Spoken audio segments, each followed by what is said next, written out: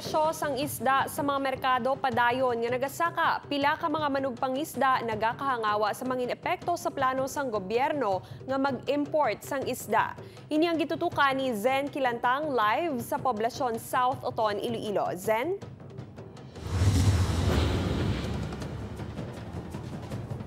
Kate pila sa mga manugpang isda ang nagakabalaka nga magnubo ang ilang kita sa palaabuton nga bear months bangod sang fish importation.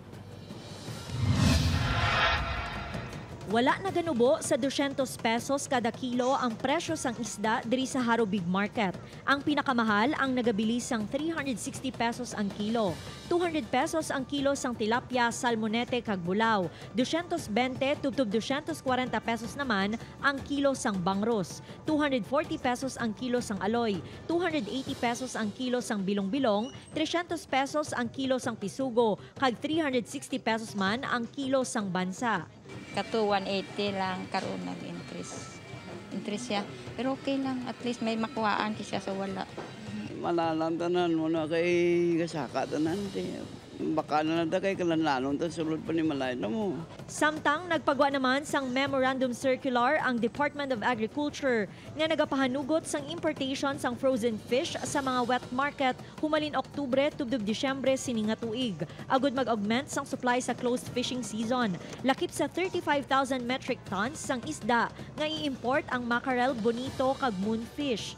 Suno sa mga naganegosyo sang isda, makabulig ini sa supply apang laingid kun lokal kag preska nga isda. mas mayo ang iya sang Philippines na produkto ya eh. Yung lokal mo ano yung mga preska kontra sa frozen. Hindi mo na yung masigurado ya kung base may mga bulong-bulong ya. Diri sa Barangay Poblasyon South sa Oton, Iloilo, mahina ang hulik sa mga manugpang isda ilabi na nga masami malain ang tiyempo. Gani kun mag-import pagid sang isda, posible nga maapektuhan gid ang ila palangabuhian. Amon kisa gamay mo lang amon kuha. Uh, kisa ga baligya kami tagi 2,000, kisa uh, medyan may isa kalibo, kisa kisa uh, bawi sa gasolina namon. Uh, lain ka una nga damo isda man. Gamay guro kita namon guro mami. Nahibaloan nga Nobyembre tubtub Pebrero ang closed fishing season sa Visayan Sea agud makamuad ang mga isda kapareho sang tuloy, bulaw kag gumaa.